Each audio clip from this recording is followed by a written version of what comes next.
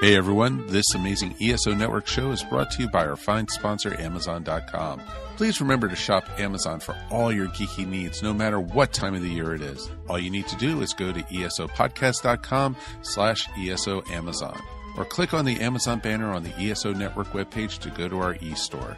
It's the best way to shop and the best way to support this program, and it doesn't cost you anything extra. Okay, that's enough of me babbling for now. Now on with your regular scheduled show. Welcome to Myobi Defend Your Childhood, the podcast where every week we put a little bit of your past on trial. Wait, you don't know who we are? Well, fine. First, we take a movie that you like. You know the ones. The ones the buses always had on field trips. We got a real jam going down. Welcome to the Space Jam. The afternoon animated show tie-in. Or rewrite Or the ones your parents didn't want you to see but you watched at a sleepover. So that's the game. The movies are 10 years old and the defendant hasn't seen them in 5. Then we, well, We're here to talk about The Sandlot. When I was a kid, I wasn't allowed to play with the other children, so this is how I learned human interaction. ask them what they think. Obviously, I remembered your wigs because as soon as my parents found out that I was deathly afraid of parasites, they were like, let's show her Wrath of Khan. So, in the end, does your past hold up? Can you defend your childhood? Tune in every Thursday to find out.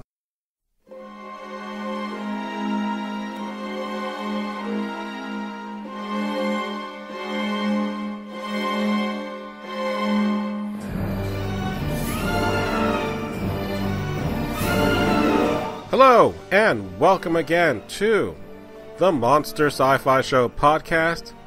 I am your host, The Monster, back again this week to give you some sci fi news for this week. So, as usual, I have my usual big three topics, which, first off, I'm going to be talking about the Dark Tower trailer as well as the trailer for the Defenders. I'm going to also talk about Philip K. Dick's new anthology series that's coming to Amazon. And also, there's kind of an update to Hulu, which there's some news within Hulu and Hulu itself, which I'll talk about at the end. And towards the very end of all this, I'm going to talk about Dimension 404, which is a series on Hulu, which I just finally now finished, which is only six episodes, but I'll give you a quick take on that. But before I get even started, let's start off with some bad news. I'm going to be canceling my Dune Book Club podcast that's going to be coming next month, only because I'm finding myself having less and less time to do the kind of shows that I want to do. And I want to still have fun doing it as opposed to forcing myself to cram as much as I can throughout the day and not liking the process. So, like for example, I just got Rebels season 2 over the weekend. So I want to take the time to enjoy that, but if you know Dune, Dune is a very heavy novel, and I've read it several times. Again, the only book that I've read several times. I don't have the, the time or the devotion at this time to make it a great podcast. Maybe in the future I will. So, add to that, I'm going to be presenting at a library conference come July about podcasting with librarians. So, that's something that is very exciting. This is the first time I'm going to be presenting for a full session as opposed to the shorter 5 to 10 minute lightning round uh, text based discussion. So I'm very happy about that. So I have to start working on preparing for that as well as come Dragon Con, which is going to be in August, I'm planning to go up to Atlanta to be with my ESO network colleagues and possibly, and this is something that still has to be ironed out, possibly do a panel on podcasting up there as well. So, unfortunately, I don't have enough help to do this. I'm the only one that's doing this all by myself. And I don't have enough time throughout the day to manage all this. Plus, I have not been running and it's been bugging me and because I'm still getting over my bronchitis I ran yesterday and I need to run today, but it, it's I need to have a better balance. And my work schedule is terrible because by the time like every other weekend I'm off, that Friday that I normally release a podcast, if I'm working that Friday, it's hard for me to record the podcast, edit, and then send it out that night, unless I'm off. So I still want to keep on pushing the podcast to have at least one to two podcasts per week. But again, the the book club unfortunately is going to have to take a seat for at least this year. So I am going to be getting advertisers in the near future. So the beginning may be different because I may be reading stuff about the products or whatever it is I'm going to be getting. So hopefully, you, as my listeners, are going to benefit from this because again, the show is still free. But at the very end of the show, there is going to be um, a link, or at least I'll give you the the website for you to take my survey about the show, and it's just again something about you that it's about five questions and just basically your demographic information. So that will help me to continue producing this podcast in the future. So write it down or go to the show notes, it will be listed there. So, lots of stuff going on. More so that I'm more upset about this thing about what President Orange Cheeto said this past week, which has to do with the Civil War. And I'm going to play a clip from him so you can listen to the problem that I have and how I want to resolve it. People don't realize, you know, the Civil War. Um, Yeah. Was- you think about it, why? People don't ask that question. But why was there the Civil War? Why could why could that one not have been worked out? Look, I, for one, I don't support this president, but he brings up this valid question about people not asking the question, but why was there the Civil War? You know, I, want to be supportive.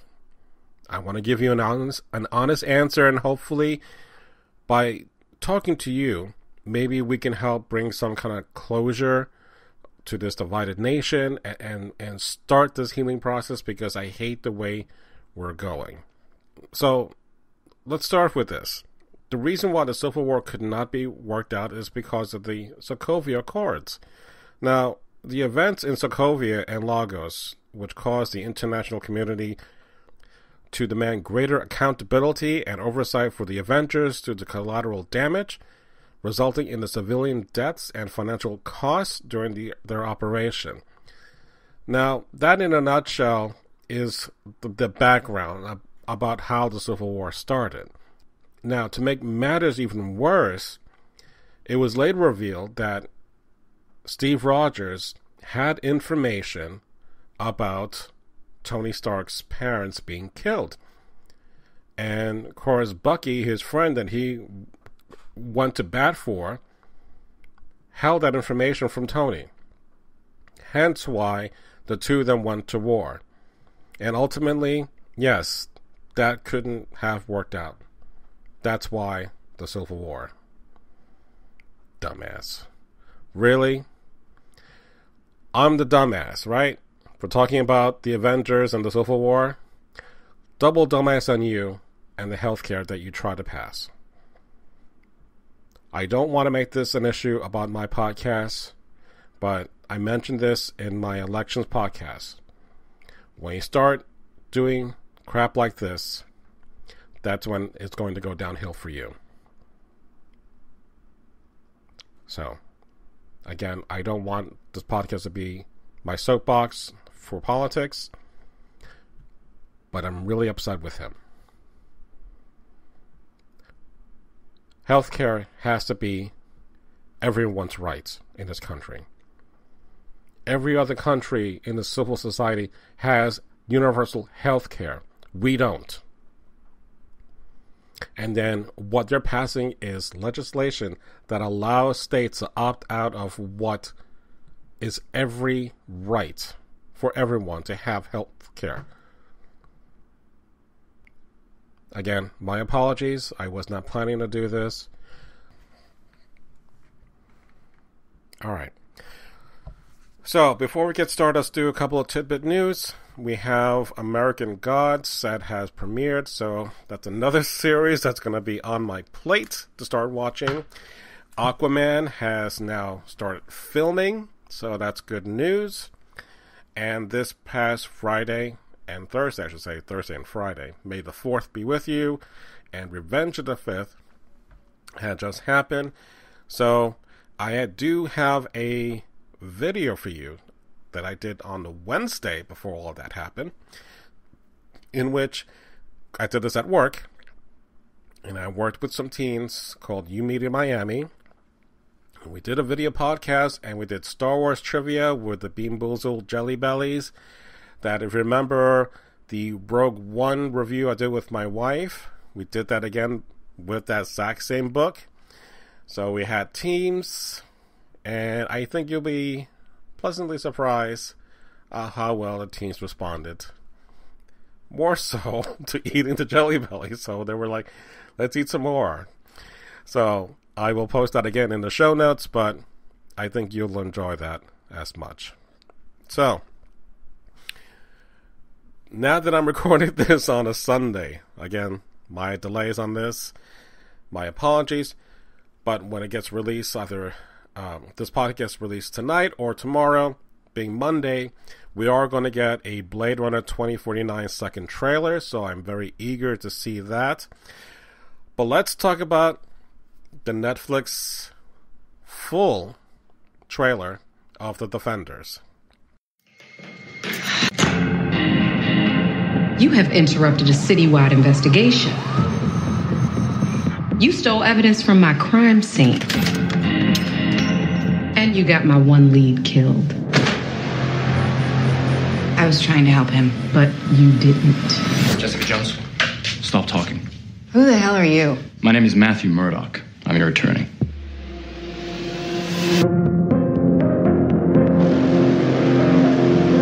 How does being Harlem's hero allow you to live an actual life? Right now, I just want to help people. I think there's someone that you need to meet. Hey, what are you doing in there? Help!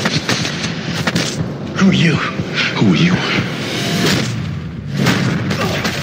How come you can't be hurt? What's the deal with that fist? I'm the immortal Iron Fist. You what? You're on the same side. You four. The devil of Hell's Kitchen. The smart-ass detective. We got a problem? The righteous ex-con. My bad. And the kid with a glowing fist. The war for New York is here. Yes, I know enemy. So get your shit together. The more connections you have, the easier it will be to break you. You look like an idiot. It's your scarf.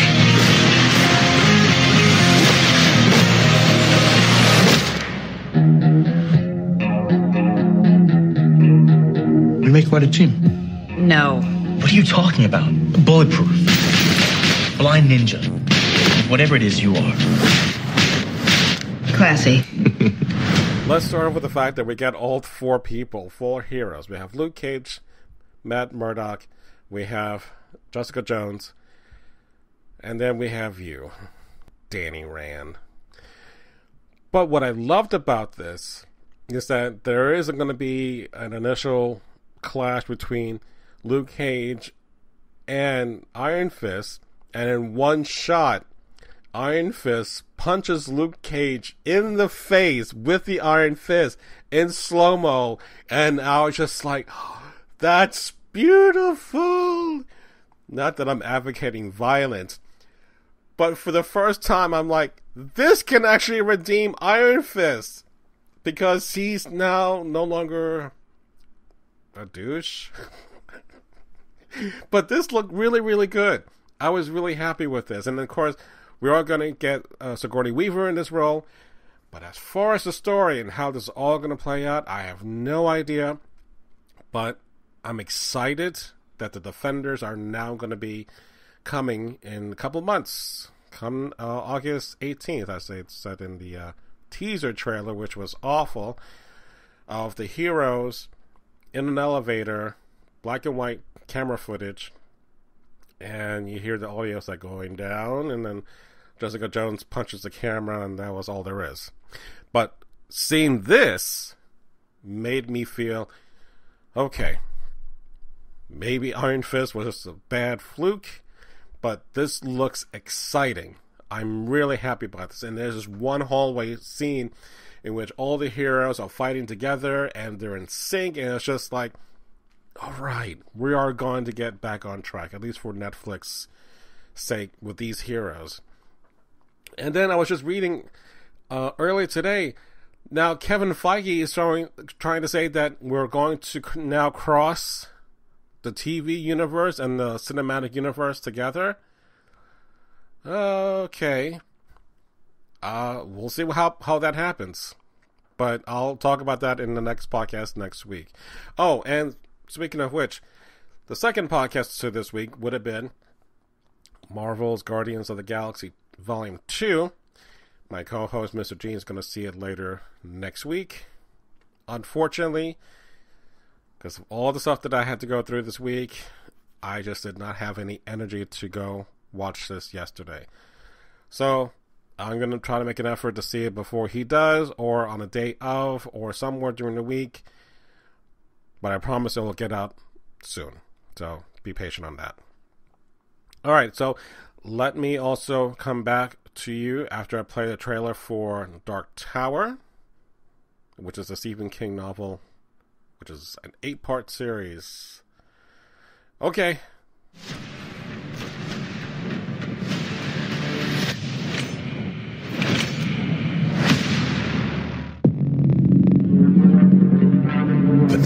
Generations, the gunslingers were knights, sworn to protect us from the coming of the dark.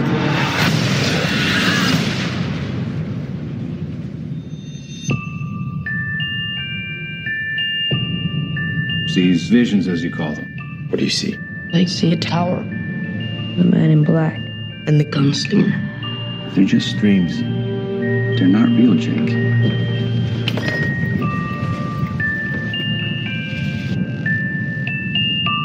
There's another world out there. I know there is.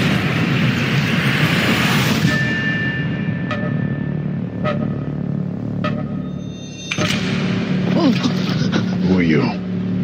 it's you. You're a gunslinger, right? There are no gunslingers. Not anymore. Why does the man in black want to destroy the tower? The tower protects both our worlds. If it falls, hell will be unleashed. He's like the devil, isn't he? No, he's worse. You can't stop what's coming. Death always wins. Your world might be gone, but mine isn't. You let that tower fall, billions of people die. Do they have guns and bullets in your world? You're gonna like Earth a lot. All right, let's go. You clawing your way out of the darkness. Did you tell the kid whoever walks with you dies by my hand? I will kill him for both of us. I do not aim at my hand. He who aims with his hand has forgotten the face of his father. I aim with my eye shoot with my hand. I shoot with my mind. Jake! I do not kill with my gun.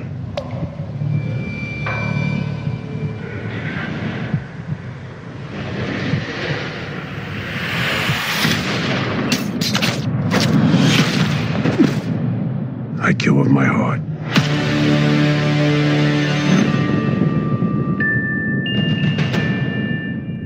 Right, so that was the trailer for The Dark Tower. Okay, I don't know anything about this at all, other than when this was made into a book, when Stephen King wrote this, The Glass Tower, or Glass and the Wizards, I forget which of the eight part series that was in high demand. This was something that's going to be huge and epic, and it was unfilmable at the time. This is back in 93. Kind of like what happened with The Stand, also another huge book. But that one was one book, as opposed to this long, epic story. I don't know how they're going to work in the storyline, or at least are they going to be planning to do more series or more movies after this? I will give the fact that you have Idris Elba, who, again, is fantastic in anything that he does. Of course, the couple of ooh moments is him and how he is able to load his gun with his bullets either by uh, moving against the, the, the gun belt and then somehow the, the bullets wind up in the barrel or the barrel uh, the, the bullets are in the air and then he flings his gun in front and then somehow they get into the barrel and then off he goes to the races. All right. Aside from that which reminds me of like the kevin costner um, robin hood moment in which you have that that arrow shot that he pulls back and, and get the pov shot of the arrow going straight into the target and boom and then they tell the rest of the story. That's what i'm thinking that's going to be but i don't want this to suck either. So i'm all for you know stephen king and i still have to finish up under the dome which i think ended already at the third season. But this is just kind of i don't know. I don't know what to make of it so I will have to ask my wife, who again she's been on this podcast before, and ask her opinion and what she thinks about the trailer. I'll watch it for what it is and and just see what goes from that point on. But considering like the success of Game of Thrones has been doing, that if you're going to be doing something that epic and you already have the books, let's not try to do you know a two hour plus movie to try to hold to tell the whole story. If it was meant to be not drawn out but if it's meant to be that long maybe now is the time to bring it to you know um, uh, a tv network net uh, netflix hulu even amazon. Now is the time to actually produce things of that caliber because there's an audience for it. Production values are going to definitely help tell that story over a much longer course of time as opposed to two hours of who the hell is that person? Oh, that's Matthew McConaughey. All right, all right, all right. Now, and him driving his Lincoln car somewhere around the story. You know, I don't want that if people are going to be shortchanged, I'm sure I'll read about it and I'll hear about it. But honestly, I just think now is the kind of time in which you can do stories like Game of Thrones and really delve into world building and and really have fun with that. So, but we'll see with that. So let's move on to Philip K. Dick's anthology series on Amazon.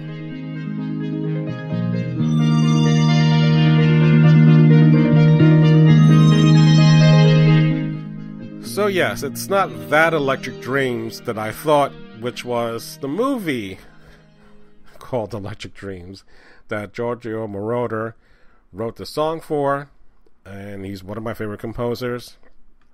But again, I don't have any Electric Dream soundtrack that is going to be for this new show. So, if you are a fan like I am, I love Philip K. Dick's work. It is everything that I like about questioning about what it is to be human, alternate realities. That's the guy that I go to. And his work has always been top notch. Now, granted, most of the time you hear the phrase, but the book was so much better than the movie. In some cases, it's not. but sometimes the idea from the book became the movie and became a better movie because of the idea, not necessarily doing the whole book verbatim. So, perfect example is Do Androids Dream of Electric Sheep, which became the basis for Blade Runner. So, that in itself, when I did the audiobook, I can understand what elements were taken out for Ridley Scott's version of that movie and called it Blade Runner. And when I tried to read the graphic novel of that book, I couldn't even get through that a second time. So it was just, it's very awkward and it's very clunky. Uh, so yeah, there are the times in which it doesn't work for me. Um, we can remember for you, we can remember it for you at wholesale was a short story, but that became the basis of Total Recall. So, in the course of this, uh, basically, it was an agent, but basically, he wanted to go back into the world that he was living in and not the, the real world that, that he wanted to uh, escape from. But in Total Recall, I love what they did in Total Recall, again, because of the whole you're not sure if this is your memories or this reality or who can you trust and basically when you look at all his stuff and of course there's man in the high castle which is dealing with an alternate future timeline in which the nazis in japan had won uh, there's the the book called the adjustment team which became the adjustment bureau which i loved uh, emily blunt with matt damon uh, Screamers is another good movie that I loved. And A Scanner Darkly, I could not get into because it's really animated, but it's just so weird to kind of like focus on. But that's because of the period in his life he was going through with his drugs. You kind of see saw things that way, and it's just kind of like, oh, okay, I, I don't want to go with that. And there's there's imposter. Hey, here's a spoiler ending. I'm a butt. if you've seen the movie, then you understand the reference. So that's spoiler right there. so there are a couple of uh, great hits overall, and so when I was looking at all the the short story listings, I'm like, is, is there going to be enough for him to have? like a full series or full anthology series, and apparently there's going to be.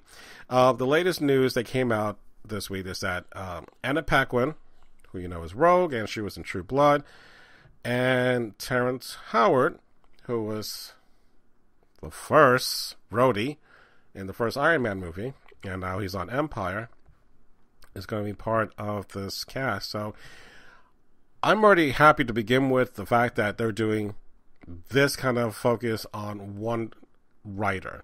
Just like Stephen King is like, he goes to the nth degree telling great stories, but somehow, like his early stuff, the third act just has problems.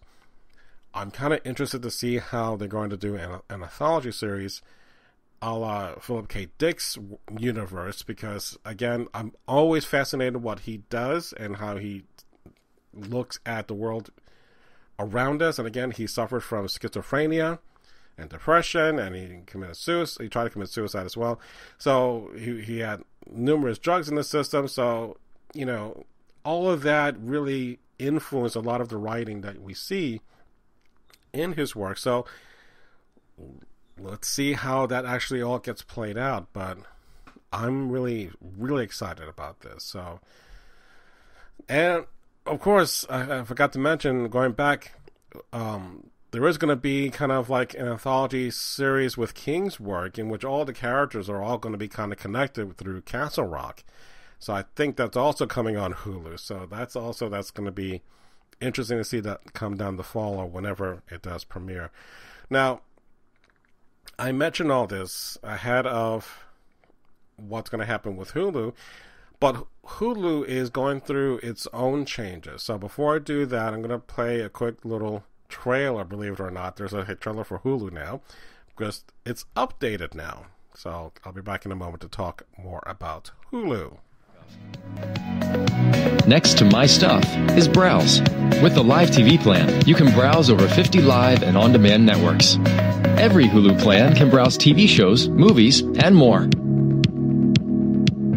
While you watch, you can continue to browse and see what's up next by pressing up or by tapping the controls on your phone or tablet. On Apple TV, it's a swipe up. Add what you're watching or flip to something new. A new Hulu experience is here. It's available right now on select devices, with more devices updating throughout the year. Okay, so let's begin with a couple of bits of news for Hulu. We have Handmaid's Tale, which I talked about in the last podcast, has been renewed for season two, so it's one of the highest uh, ratings that Hulu has had in its original programming. We are going to get a new Marvel series called Runaway. So if you know the Runaway series, basically it's teenagers who find out that their parents are actually villains and they're going to find ways to stop their parents from being, you know, asses or a-holes or whatever you want to call it. So that's kind of cool. We are going to get Atlanta. Uh, it's going to be streamed, and that's basically from This series stars, and it was created by Donald Glover, who, if you know him from Community, he is now going to be the young Lando Calrissian. So we'll get to see him next year for that. But this is a highly critically acclaimed series, which I'm very eager to see. And then on top of that, let me get back to my notes. And then we're going to get a series called um, the first. I'm sorry. We're going to get another Mars series, which. Uh, okay, I I liked the Mars series that was already uh, streamed after National Geographic had played it, and it was renewed for a season two. But we're going to get another Mars series, so I'm like, don't remember when we had the issue like with Mars uh, uh, needs moms or Red Planet. We got too much Mars stuff, and we're going to go go down that road again. So I don't know. Uh, that's the only thing that I wasn't crazy about with Hulu's decision. But the big news is that they're going to be adding a live TV service. So, like YouTube is going to do, they're looking at ways to people like me who cut the cord a long time ago, or they're looking to pe- people who want to have access to TV and to cable like shows to still have a choice in which it's much cheaper to stream stuff, well, that's one option. So for their price, they're looking at thirty nine ninety five, which I'm not sure if I want to go down that road. But then again, I don't have access to Food Network to the Sci Fi Channel, uh, Cartoon Network, or all the other stuff that I used to love watching endlessly when I had cable. But having said that, I have to make then a decision as to do I cut um, my Netflix series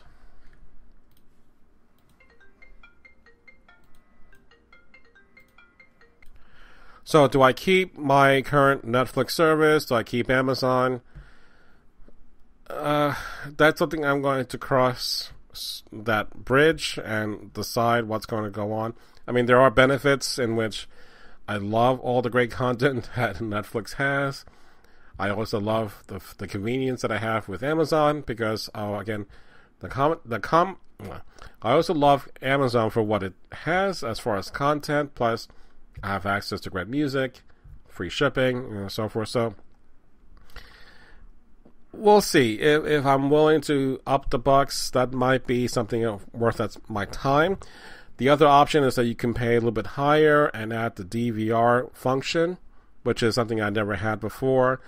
But my question is because even though it has local channels like NBC, ABC, and CBS, because of CBS, this is I have to now research about all access. Now, because the all access, if you know about Star Trek in, uh, into Discovery, Star Trek Discovery, the new TV series that's coming out supposedly in the fall, is only going to be behind a digital wall called CBS All Access.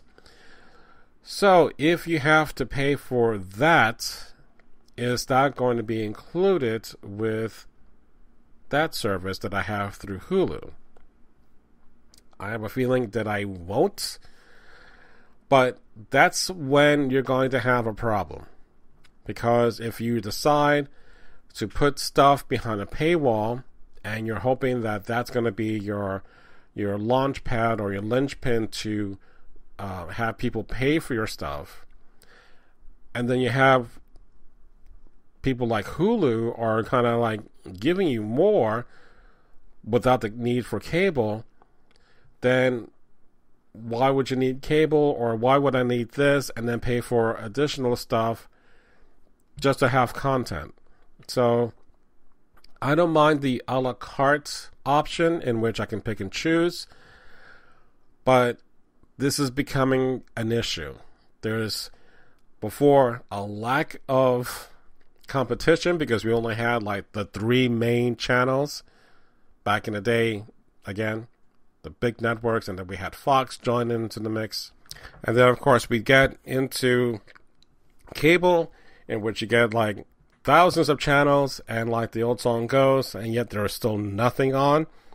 That was a problem that I had paying exorbitant amount of prices for stuff you didn't like and then, of course, Netflix came along with their DVDs and then opted to do streaming, which became more popular. And that's where the cord cutting revolution kind of took place.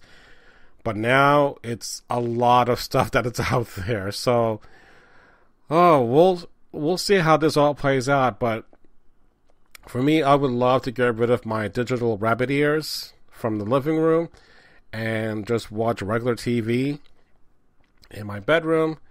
And it'd be nice to do that and not have to worry about the problems with, you know, cars passing by or someone walking by the rabbit ears and the, the channel gets delayed or distorted because of interference by our bodily uh, presence.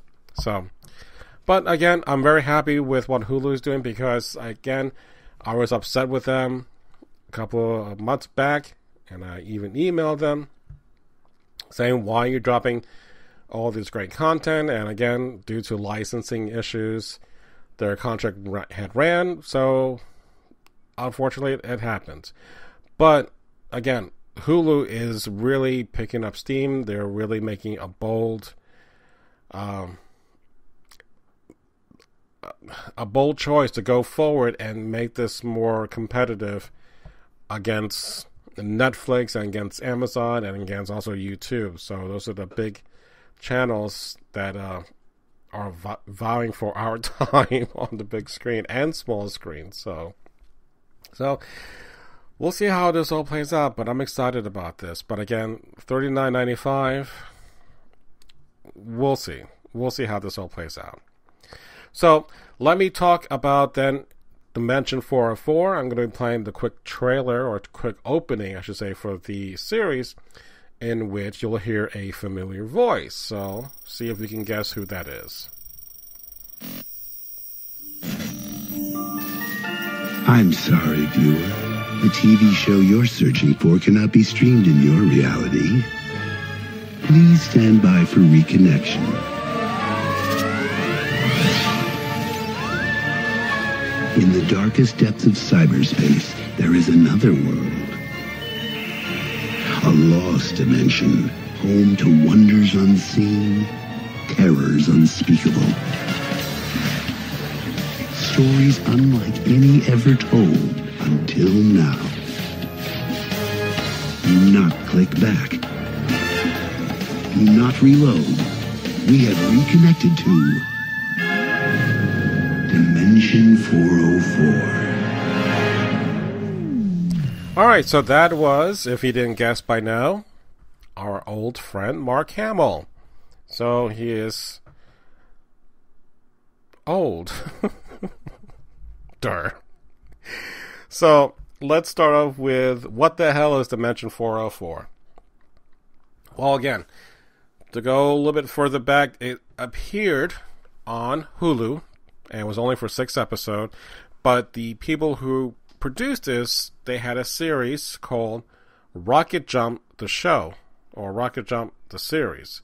So last summer, I got to watch this small independent group make short films and they filmed the behind the scenes and how it was all put together. And each week they had, you know, a limited amount of time, budget, resources, but still had to produce a high quality short. And what was great about this is that you can see the enthusiasm, the fun, and you know, pulling back the curtain to see how this is all made. And I'm like, I used to love that world. I really did. Because I wanted to make movies too. But of course, my life went into a different direction. But still, I live vicariously through them. And the, the fan films that I liked, that they did, one was, called Fan Friction. So if you get a chance, watch that and watch Fan Friction by Ashly Burch, who I, another one who I have a crush on. She had issues with um, not, not necessarily a panic disorder, but she was really anxious about how she was directing this piece and writing it, and it was turned out to be one of my favorite short films from that series. So, big crush on Ashly. Um, Truck Flipper versus Bus Puncher was another great one. Freddy's Vlog, Walk and Talk, Jesse's Jesse's Big Date, who Ashly acted in, and Keep Off the Grass. Those were my favorite ones. So if you get a chance and you have Hulu, check out that series. And again, that was my order of my favorites. So basically, from there they created another series, and basically, the, and basically, this is just an, a sci-fi anthology series, like we talked about with Philip K. Dick, but basically, is using their take on telling creative stories with limited about uh, with limited amount of money and budget uh, for extras, but are still able to tell a full one-hour story. So this started on April fourth, and just recently ended its sixth episode. So we had um, a great number of people guest starring in these episodes. You had Lea Michele in the first episode. You also had Patton Oswalt uh, in the second one, and of course, my favorite Ashly was in there too. Um, in the third episode, you had Adrienne Barbeau. Oh, I'm sorry, that was the fourth one. the third one, I don't know anyone there, but still a lot of fun. Um, and then the fifth one, uh, we had Megan Mullally, sorry, Megan Mullally and Constance Wu. And I'll talk about that episode in a moment. And then as far as the last one, I don't remember anyone in there. But the six episodes that were there, the first one was Matchmaker. And basically, the, the synopsis is a finicky music blogger finally meets the girl of his dreams through the cutting edge online dating call Make a Match, but their chemistry seems to be too good to be true. And we have to do a quick cameo in Joel McHale, uh, the one who created the whole Make a Match series. Um, Cinethrax was the second one. Um, a snooty cinema purist, who was just Patton Oswalt's character, struggles to convince his fellow filmgoers that the 3D movie they're watching is summoning forth a brain sucking interdimensional monster only he can see. So they kind of play on the they live scenario with the glasses. So I thought that was kind of cool. And the third one was Chronos, a hopelessly nostal- a hopelessly nos- nos- no- nostal- nostalgic hopelessly nostalgic physics student fights to prove her sanity when no one on earth can remember her favorite 90s cartoon. Fourth one, Polybius, an arcade uh, junkie attempts to master Polybius, a sinister new game of unknown origin that includes nightmare visions. But when kids start dying, he must beat the game to unlock its deadly secrets. Fifth one is called Bob, and it starts off with as a holiday treat. As a holiday threat looms large, an army psychologist races against the clock to treat the strangest patient of her career. And the only one who can save Christmas, Bob, a depressed NSA supercomputer. And the last one is called Impulse, and it's a brash, up and coming pro FPS gamer finds the edge she needs in an energy drink that gives her the real world bullet time. It's a shortcut to fame and fort. It's a shortcut. Yeah, it's a shortcut to fame and fortune, but it might be a shortcut through the rest of her life. So, out of the six episodes, Bob, number five, was fantastic. Constance Wu. If you watch Fresh Off the Boat, I have enormous love, mad love for her. But she was fantastic in this. And basically, Bob is this massive supercomputer brain in which he's trying to hunt down this criminal, but somehow it's blocked out. Like he cannot find out where this person is anywhere. So Constance is brought in to help Bob deal with his issues. So it was fantastic. I really, really loved this. The second one was Chronos. And again, it was kind of the the reason why I liked it because there was a lot of time travel elements in it, and they were kind of reminding me of Bill and Ted's Excellent Excellence uh, Adventure. So, again, a lot of fun with that. Cinethrax, it was okay. I, I loved the, the They Live reference, and again, Ashly was in it, so that's why it's even in there. And then Impulse, it was okay. Uh, as number four, Matchmaker number five, which was the very first one, and Polybius was number six. So even though it had Adrienne Barbeau, who I always think about her as Adrienne Barbeaubot from SeaQuest, not SeaQuest, Sealab. um, it was okay. It, it didn't wow me over, and I think a lot of the overall problems is that the the ideas are interesting, and it's it's well acted. Even it has limited sets, they are still telling a story, but it's hard to kind of get invested in a story within one episode of who these people are and for us to even care about them. And then boom off they're gone. We have another story another cast and off you all off you go to the races. So that's the only problem that i have with the series and it's just in general with anthology series.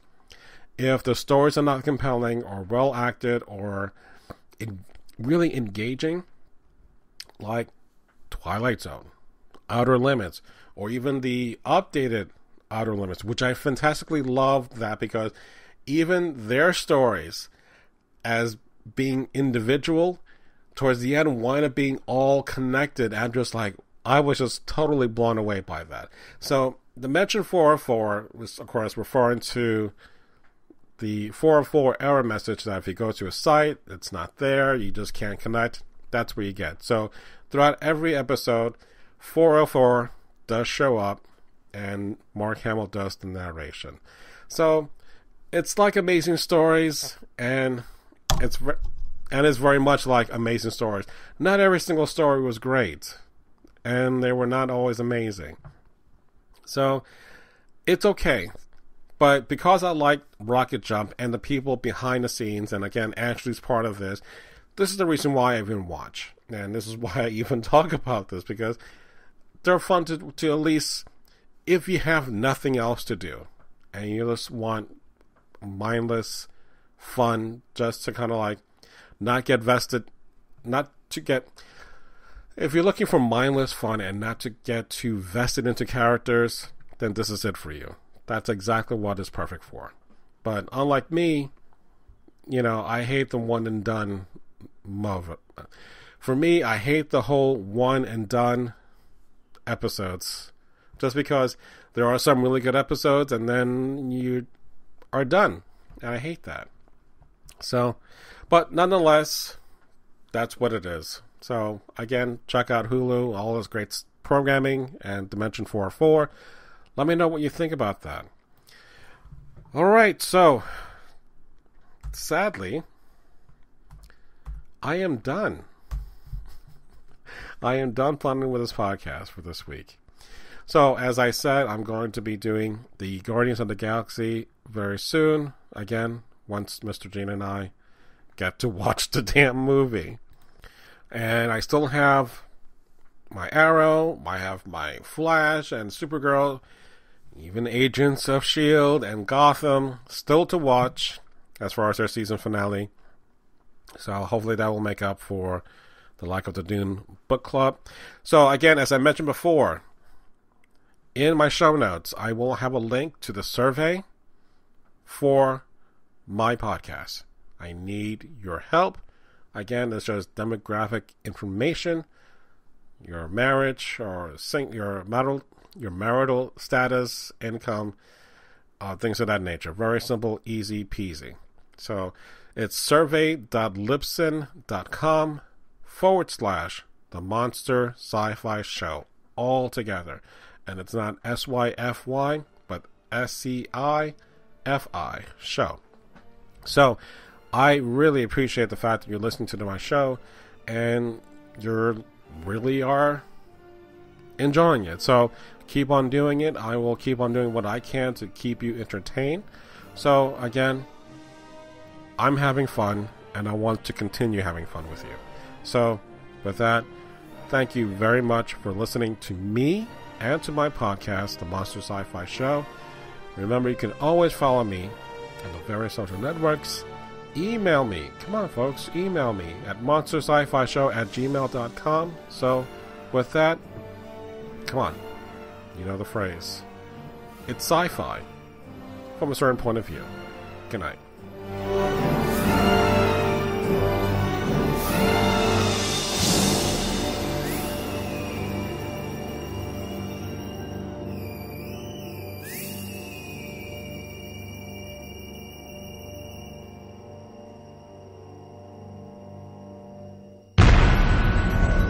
This has been a broadcast of the ESO Network, your station for all things geek, classic, current, and beyond. Be part of the crew at ESONetwork.com.